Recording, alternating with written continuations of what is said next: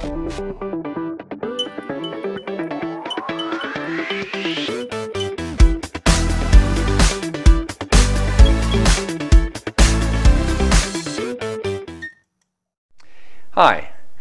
The plan tonight was to do another upgrade on the APU and uh, we had installed the more sophisticated mufflers as well as replace the motor generators with smaller, lighter, more efficient units. Uh, the plan with much more resistance load was to run this thing at a, one or two kilowatts and produce some fuel consumption numbers as well as show you what the vibration and the noise levels were like. However, right now in New England, it's about 5 degrees below zero Fahrenheit, and that's just too brutal. And so with that in mind, we're going to wait a little bit on this, and in the meantime, I'm going to do a video on some rather amazing speakers that I just built. And it started with a couple of weeks ago, the work that we were doing with the active uh, sound reduction, began playing around with these little Dayton $6 audio exciters. And when I attached these things to some trash, literally trash, and played music through them, I was stunned. The, the, quality of the music that came out of this was not at all like a $6 speaker. It sounded like a decent bookshelf speaker. So I went to the Parts Express website where they have a um, project gallery. And a guy named Rich did a really nice write-up on what are called DML, or distributed mode loudspeakers and went through the whole process of uh, sizing them, building them, constructing them, and at the end has a couple of very sexy looking speakers mounted on a pair of artist's easels in his living room. And based on everything that I've learned subsequently, I believe him when he says that they sound really nice. You go on YouTube, you see another couple of examples of people doing this, and so we just couldn't leave that alone. So like everything that we do here, we began a rather deep investigation to see just how good we could make speakers using this technology. Now, if you remember in the acoustics video we did a couple of weeks ago, I was talking about the importance of phase relationships. And in a typical listening room, when you have two speakers on opposite sides of the room and you're sitting in between them, both speakers are working together in concert, so to speak, and it produces a very nice sound. But what happens as you move laterally in the room, you can envision the triangle that's formed by, between the two speakers in my head, is becoming distorted. And as I move closer to one speaker versus the other speaker, the distance from this speaker is becoming longer, this one shorter. Eventually, I reach a point where the distance between the differential distance is one half wavelength at a particular frequency. And at that point, you're in a node. You get almost no amplification, almost no sound. And as you continue to move laterally, you'll reach another point where you're one and a half wavelengths lateral to the center spot. As you move across the room, you're going to get these peaks and these troughs of sound amplitude. And that really creates regions in the room where it's not very good to listen to the sound. In addition to these, in addition, these speakers, because of their conical shape or their spherical shape, act a little bit like shaped uh, anti-tank charges. They focus the sound in front of them. So when you include the focusing property of the speakers and the phasing property of the speakers, you get a lot of regionality in the room. And even if you're using, say, ribbon speakers or electrostatic speakers, which don't suffer from the, the shape factor, you nevertheless are always going to be suffering with an, a, a phasing factor.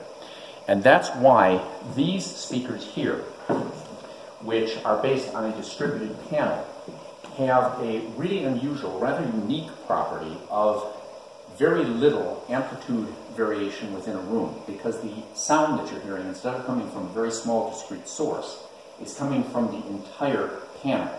And it's interesting, if you sit in a very high quality listening room and you're listening to very good quality speakers, you might say, man, that sounds really good but you can usually still always tell that the sound the vocalist is coming from, say, that box in the corner. There's a localization.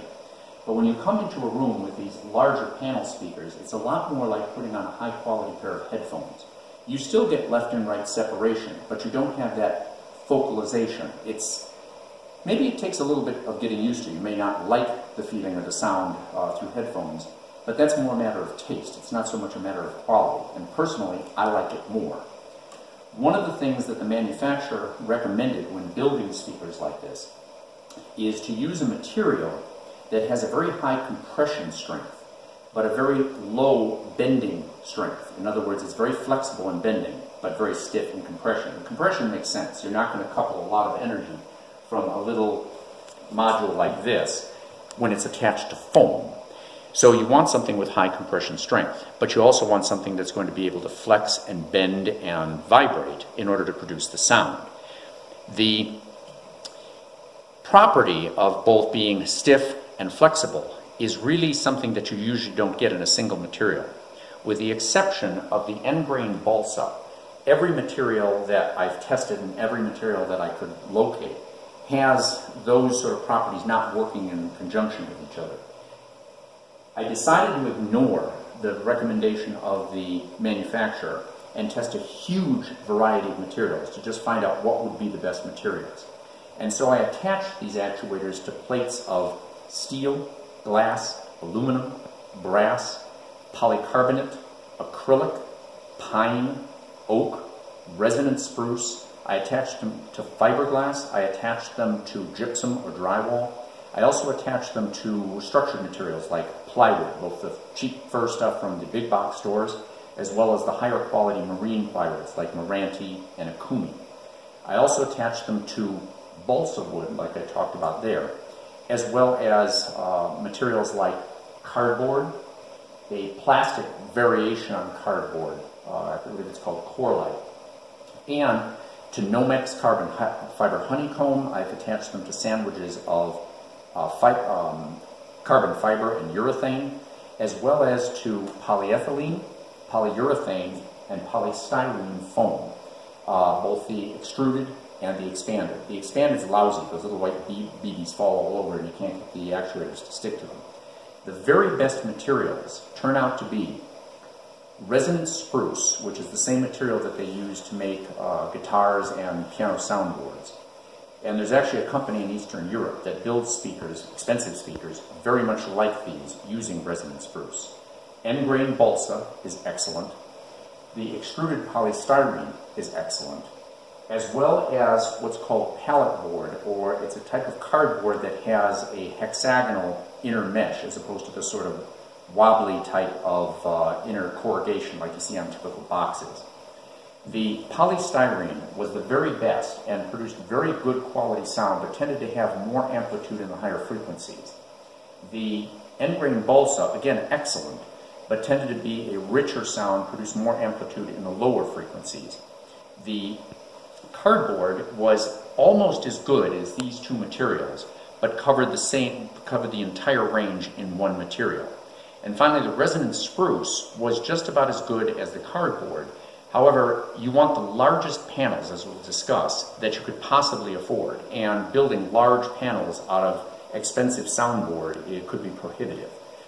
So what we did, once we discovered what the materials were, is we started testing the different panels.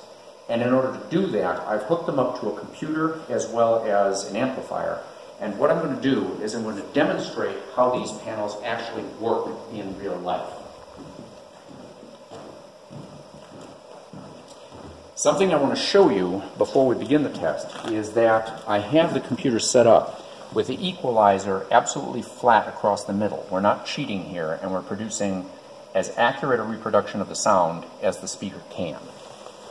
The first panel that we're going to hook up is going to be the worst example of the solid materials. All of the solid materials tend to have a ringing component to them. They tend to vibrate, and what that does is it muddies the sound. So the first speaker that we're going to hook up here is going to be that plate of aluminum over there. And so when you hear this, take a listen not only to the sound, but take a listen to the sound after the segment plays.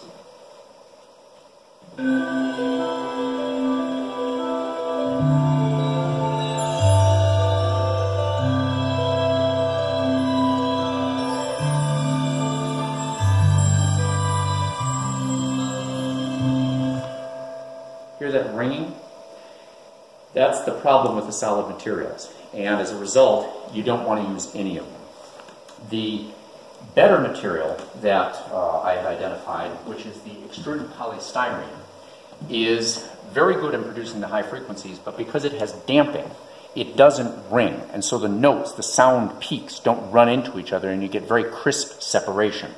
The manufacturer also recommends rounding the corners and easing the edges. What this does is it helps to reduce some of the resonant peaks that you get in these panels, and we're going to discuss that a little bit later. They also recommend doing something to the surface of the panel, which is to sand it. When they make extruded polystyrene, what happens is as the polystyrene uh, comes out of the, the die, the surface, the lips of the die, create a very thin film of hard uh, plastic on the surface. As a result, it makes the panel stiffer in the bending direction and reduces some of the benefit of having the, the resonance or the, the vibration of the panel. In addition, the softer surface that you get by sanding off that thin layer of plastic acts as an acoustic absorber, so in a listening room, it actually improves the listening environment as well as helping the panel to produce better sounds. So what I'm going to do now is I'm going to hook up this speaker and you're going to take a listen to this relative to its alternative in the aluminum. Just unplug the aluminum.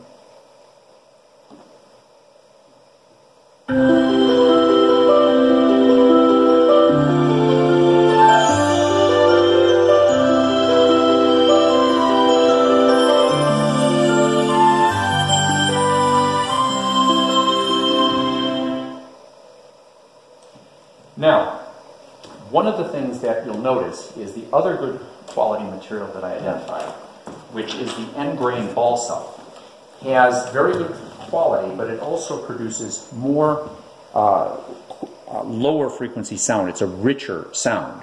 And so I'm now going to play this panel over here, and you're going to hear the difference between the two panels.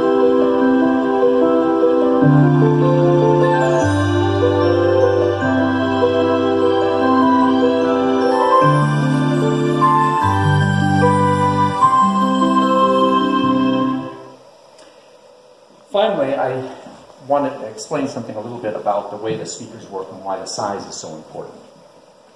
The larger the panel, the longer the wavelengths that it's actually able to support in a vibrating, resonating mode. And so to get the lowest frequencies possible, you want the largest panel that you can put in your room. The problem is sometimes you don't have enough room. And so if you create a panel that has a much larger dimension uh, that can fit, say, on the side of a monitor in in a tight space, you'll still get some of the improvement of the lower frequencies. Not nearly as much as if the entire panel is large, but it's better than just limiting yourself to, say, a small rectangle if all you have is this much width. So what I'm going to do now is I'm going to play this polystyrene panel.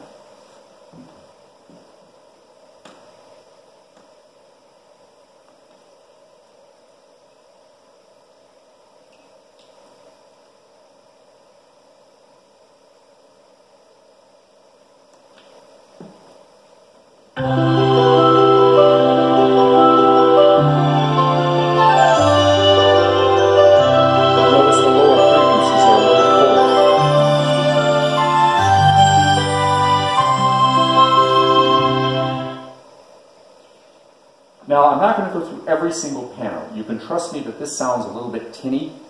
Uh, you'll trust me that this sounds pretty difficult to distinguish from the polystyrene panels.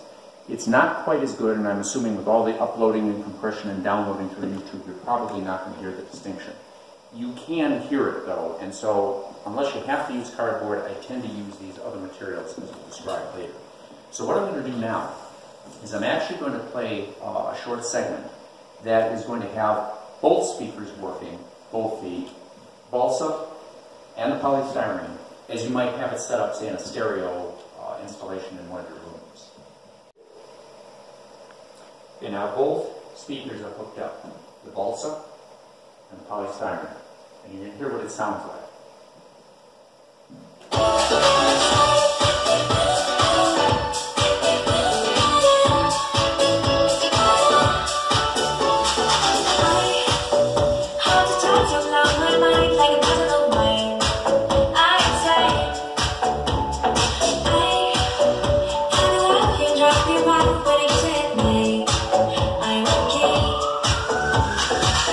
In mind, we've got 5 watt uh, 20 watts running in a room with about 14,000 cubic feet.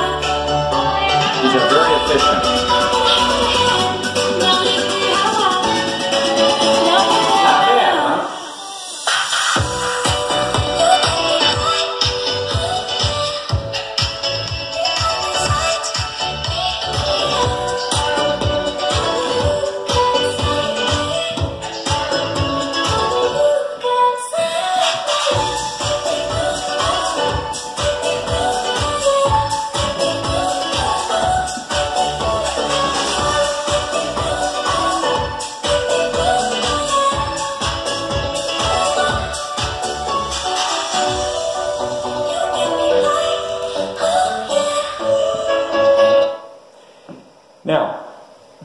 Speakers at this point are very good. We've got a couple of thousand dollar floor speakers that we use in this big projection room, and they're almost as good. Not quite, but they're very close. And the question, obviously, is can we make them any better? Almost every speaker that you've probably ever heard and speaker that you've ever owned is based on this technology. And an interesting thing is that if you were sitting in an audience in this room and I was playing a piano and forget the acoustics, forget my skills, you'd sound like an idiot if you said, wow, that sounds so realistic. It's like there's a real piano in here.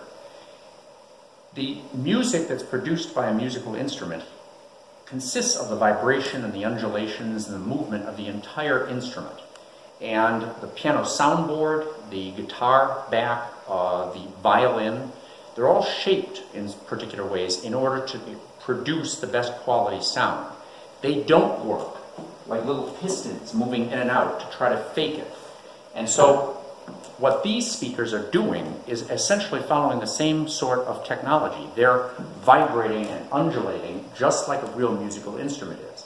So if we want to bring this up a notch and make these speakers even better, what we have to do is we have to improve the panels as musical instruments. Now you've probably seen these in physics class, and if you go on YouTube, you'll see what are called Chladni plates. And what they are is flat metal plates attached to audio exciters, which are in turn powered by an amplifier and a tone generator. And what they do is they demonstrate resonance in materials based on the frequency response of the material to different inputs of um, impulses from the audio exciter. As you run these things, you'll hear a sound. Right now, you can probably hear a low frequency vibrating sound. And as I up the frequency, you'll hear the ramp or the sweep through different frequencies.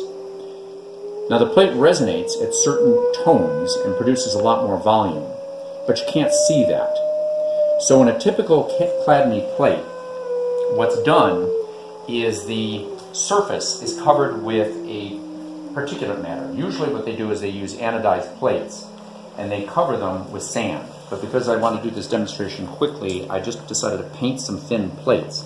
And instead of using an abrasive sand, I decided to cover the plate with sugar and the sugar will bounce around on the plate as it's influenced by the audio exciter and move around. And as it moves, it will tend to move most at the places where the plate moves the most. And it tends to settle in the vibratory troughs that occur when the plate resonates. That's pretty good. Now, I'm going to turn this on and you can start to see some of the particles vibrating. As I begin to ramp this up in frequency, you'll find there are certain frequencies where the plate resonates. The sound becomes much louder, and you'll see patterns begin to form on the plate. Between resonance peaks for this particular size and stiffness plate, sand doesn't move very much.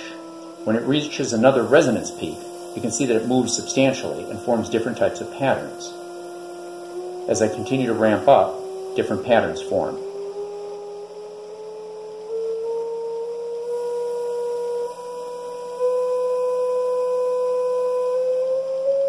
But again, between the peaks, not a lot of movement, because the entire plate is moving sort of randomly. Here it gets louder, and the, and the sugar begins to move. Now, visually, that's beautiful, but acoustically, that's lousy, because that means that you're going to get peaks in the volume coming out of the speaker at those resonance peaks, and you're not going to get the flat response you want from the panel.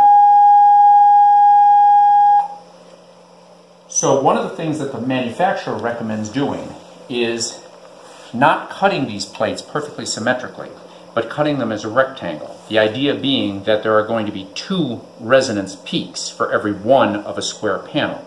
And because the entire plate doesn't participate at any particular resonance peak, the amplitude, the amount of sound that you get, isn't as peaky at those different resonance positions. So more peaks of lower amplitude is much better.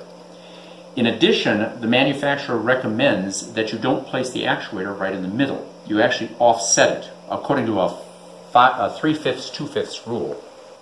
And what that does is instead of producing two different frequency modes, you produce four. So you've got one different frequency mode in this direction, two different frequency modes in this direction, and two different frequency modes in this direction. So now you have four. What we decided to do is to carry this much further.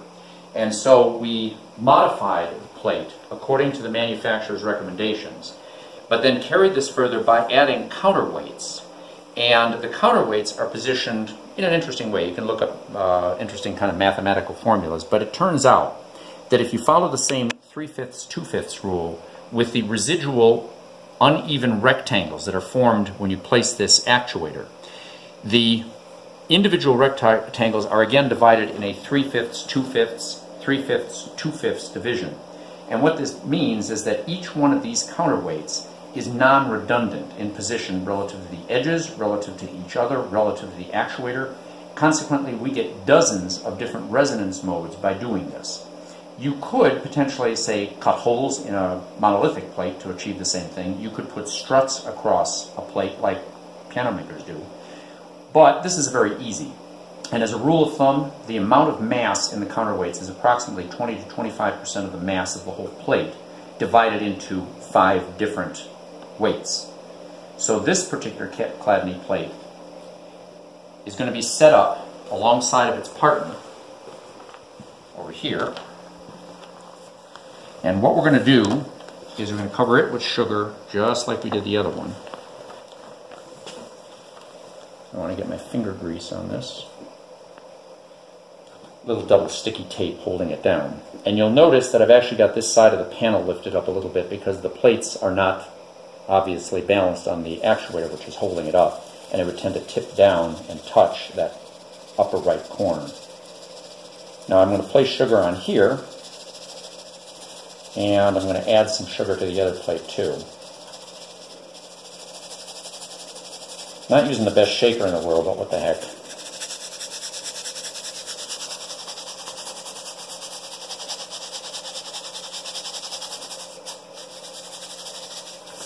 Ooh. All right.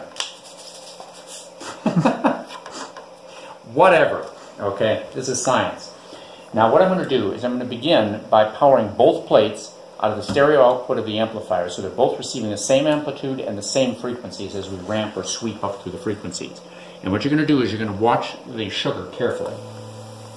Now you can see it's vibrating over all the plates. But as they start ramping up, you'll notice that this unsymmetrical plate continues to vibrate its sugar when the other plate is dead still. It's producing a lot of amplitude at that point, while the other plate is not producing much. And as the other plate moves through its resonance peaks, you'll notice that it has a lot more movement, but at many fewer spots. The smaller plate is still continuing to move while the other plate is not. It's not producing much sound amplitude and it's also not producing much motion of the sugar. This continual vibration of the sugar on the other plate means that we're getting much flatter sound response. We want the peaks to come from the music. But we don't want these huge peaks that occur when that particular plate is in a resonance mode. And you see the other plate is not doing that. Now, it's not visually appealing, but acoustically, it's a far better way to do this.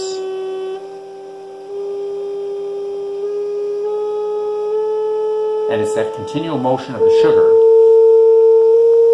on the right hand plate or right hand to me, but a lack of tremendous amounts of movement at certain resonance peaks. You see that plate, the square plates, nothing's moving. The right plate, the sugar still does. The right plate is still producing a good amount of sound amplitude, the left is not. And as we go a little bit higher, you'll see all of a sudden the left plate is going to begin to dance.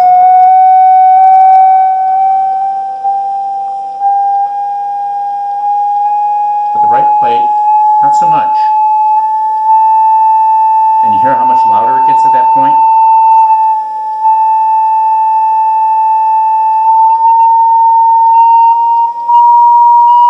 But the asymmetrical plate just keeps vibrating. And remember, we're producing speakers, we're not producing chladni plates. It's kind of a neat experiment.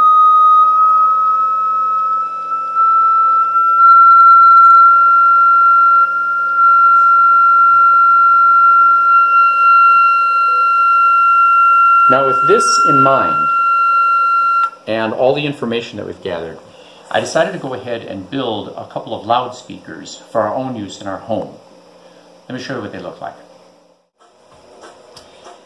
Okay, to construct the speakers, what I did is I used all of the techniques that I described inside. I built these speakers out of two panels. The top one is polystyrene, and the bottom is the balsa to give the higher and the lower frequencies. In addition, each of the panels has an actuator or an exciter mounted on the back, and because the exciters are 4 ohm, they're wired in series to produce an 8 ohm speaker, which is what most stereos or receivers want to work with. The speakers themselves are hung from monofilament fishing line, so you can't even see it.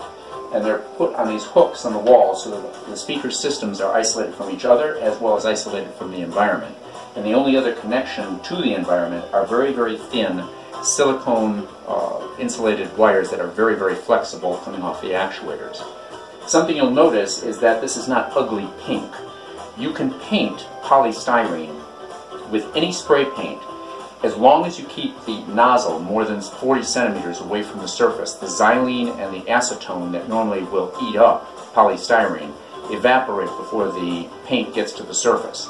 So as long as you keep that distance, any paint will work with polystyrene.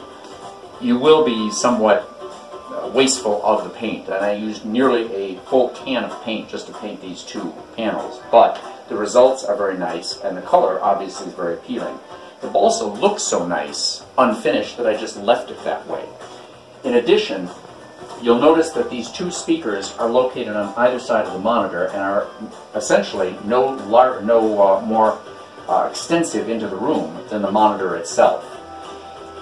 The final thing just to keep in mind is that these speakers right now are running a, uh, a frequency range from about 130 hertz up to about 20 kilohertz.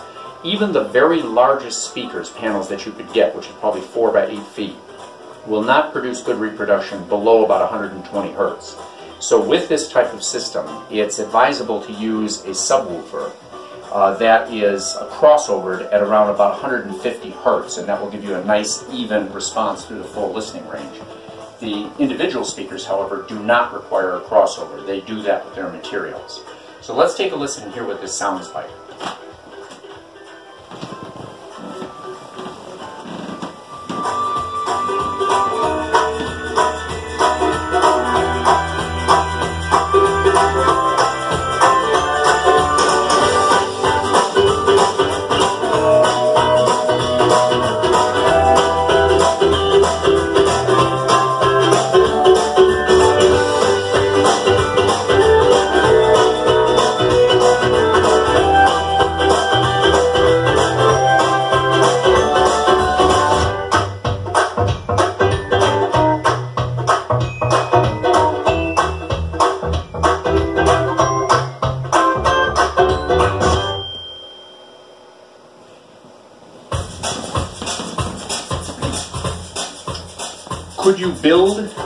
Speakers? Possibly. You could certainly buy better speakers. But keep in mind that these speakers weigh about five and a half pounds each. They are less than two inches deep, and each speaker costs less than $30, including the hooks on the wall. So with that in mind, and the fact that these speakers are so flat, you could imagine that not only two, but maybe four, six, eight speakers could be mounted in a listening room. You could even hang these speakers horizontally from a ceiling. And you can imagine the acoustic control you might have if you were to do that. So this is a lot of fun, and I do promise you that we will get outside as soon as the weather gets a little bit nicer, and we will do the review on the APU. But in the meantime, I think I'm going to watch a movie. So thanks a lot for watching, and we'll see you soon.